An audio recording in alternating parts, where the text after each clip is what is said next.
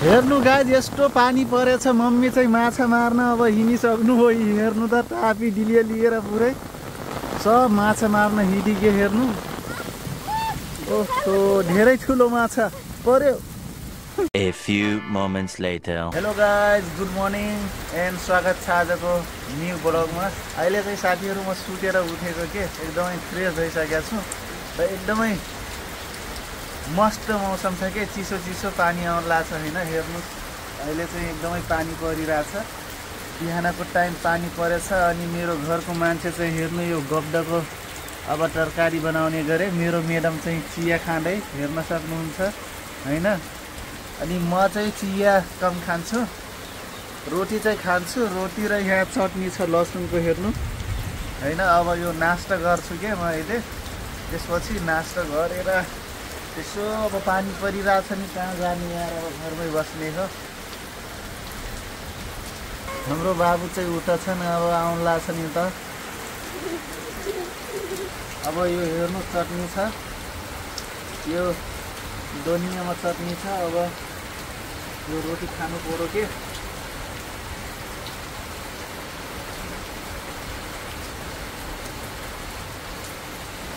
आज एकदमै बिहानदेखि पानी परेछ क्या।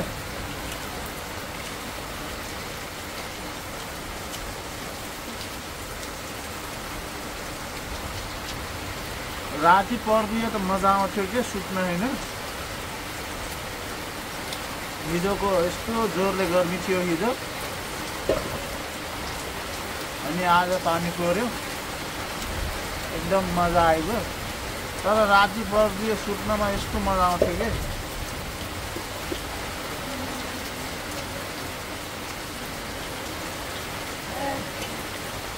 बिहानको नास्ता चाहिँ हाम्रो यही रोटी हो।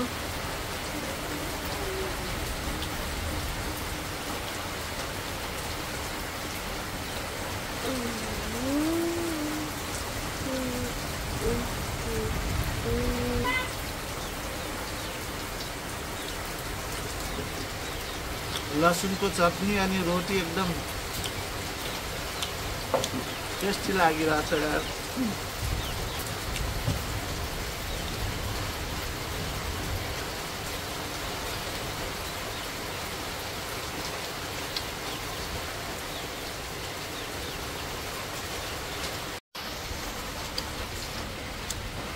साथीहरू हेर्नु होइन लसुनको चटनी रोटी नास्ता म गरिसकेँ चारवटा रोटी खाएको के?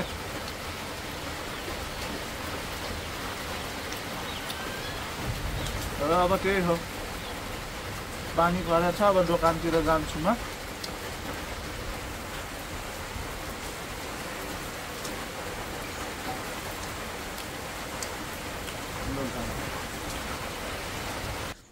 हेर्नु साथीहरू अहिले चाहिँ म कोठामा आएको छु कि होइन? पुरै बत्ती गएको छ कि अन्ध्यारो छ। अब त्यो फ्लास लाइट अन गरेको छु म।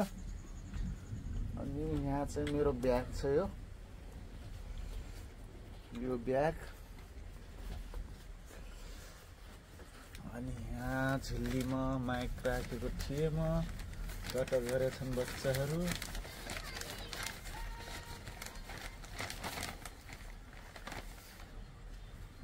कहाँ राख्यो यार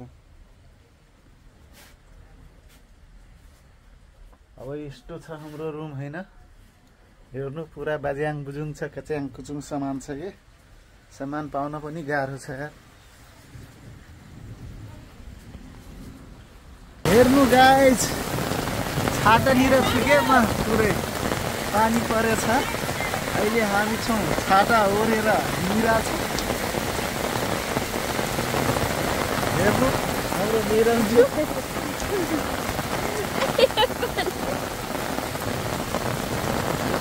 त बनाउनै पाउँदैन के भिडियो? अब हेर्नु गाइज अब चुलो मैले बनाउनु पर्यो के यो होइन? यो इँटा छ नि त। यो इँटाको चुलो बनाउनु पर्यो के? अब बुङ्गुरको लागि गब्दा पकाउने गरे गब्दा चाहिँ त्यो उस्टोवाला हो सेटोवाला गब्दा। किनकि अब सेटोवाला त अलिक खान गाह्रो हुन्छ के? हामी त कालोवाला गड्डा खान्छौँ त्यो अलि राम्रो हुन्छ मिठो हुन्छ त्यो। सेतो गड्डा चाहिँ बुङ्गुरले खान्छ के?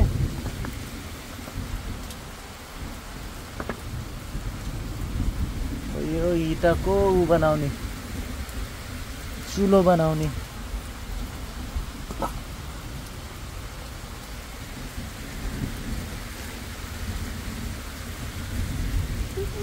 चुलो बनाउने गाइज। किरा मात्रै छन् त यार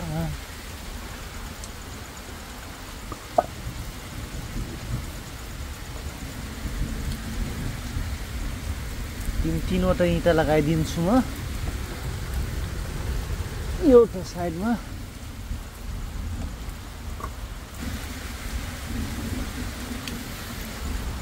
चुलो चाहिँ रेडी भयो साथीहरू।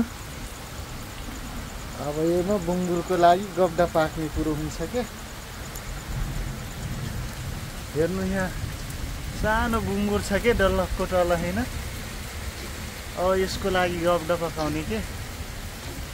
हेर्नु गाई यस्तो पानी परेछ मम्मी चाहिँ माछा मार्न अब हिँडिसक्नु हो। हेर्नु त तापी डिलियो लिएर पुरै। हेर्नु पुरै बाफे बाफ। जोरले परेछ के आज पानी? हेर्नु पानी पर्दैछ अहिले। सब माछा मार्न हिँडिके हेर्नु तापी लिएर। हाम्रो चौधरी मान्छे यस्तै हो के? धेरै माछा मार्छन्।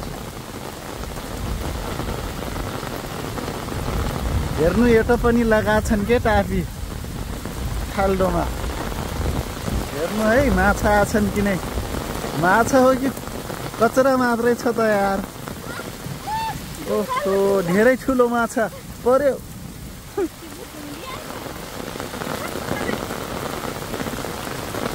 हेर्नु गाई लास्टै पानी परेछ बिहानैदेखि आज होइन? अब मेरो मोबाइलमा चार्जिङ छैन बत्ती छैन के आज? अनि म चाहिँ यो छाता ओढेर हेर्नु होइन।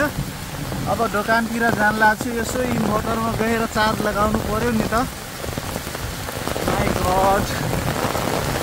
हिजोको गर्मीले आज चाहिँ जोरले पानी परेको छ के?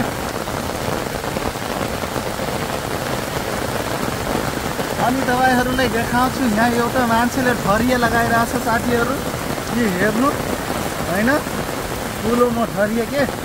माछा खसाउनलाई लगाइरहेछ म चाहिँ अब दोकानतिर गएर यसो मोबाइल चार्ज लगाउनु पऱ्यो के? कति चार्ज छैन? अब त्यहाँ मोटर हुन्छ नि र त्यही भएर।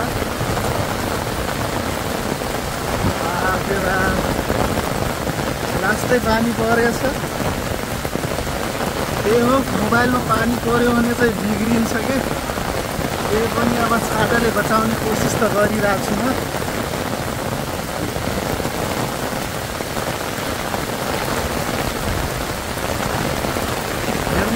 पानीको अवस्था लास्टै जोरले परेको छ क्या आज?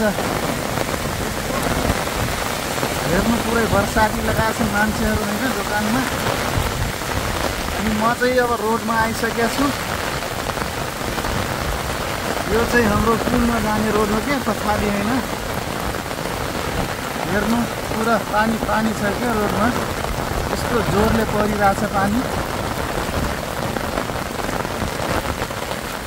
साथीहरू तपाईँको ठाउँतिर आज पानी परेछ कि? हाम्रो कैलालीमा त लास्टै एकदमै पानी परेछ कि?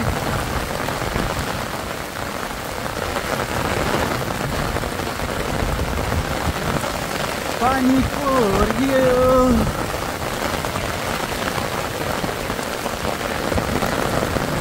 मोबाइल बचाउन गाह्रो छ यार। साथीहरू म अब मोबाइल बन्द गर्छु के? अब एकदमै जोरले परेर बचाउन गाह्रो भएको मोबाइल। साथीहरू अहिले चाहिँ म दोकानमा पुगिसकेँ क्या हेर्नु होइन। बन्द छ गरेको। अनि पानी चाहिँ यस्तो परेछ के? हेर्नु न। बाफे बा यो बिजुलियामा हो साथीहरू। पानी परिरहेको। हेर्न सक्नुहुन्छ लास्टै जोरले परेको छ कि? अब मैले खुट्टा धोइहाल्नु पऱ्यो कि? खुट्टा धोइहालौँ नि साथीहरू।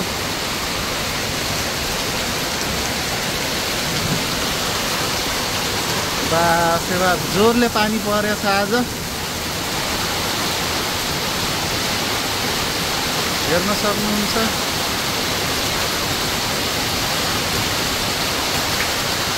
सुन सान छ कोही पनि हिँडिरहेको छैन कि? यस्तो पानीमा को हिँड्ला र यार होइन? अनि म अब साथीहरू दोकान खोलिहालौँ पहिला होइन। गाइज आजको भिडियो मेरो यहीँ समाप्त हुन्छ। अब चाँडै नै नेक्स्ट ब्लग लिएर आउँछु। तबसम्मको लागि सबैलाई take care. Bye next blog.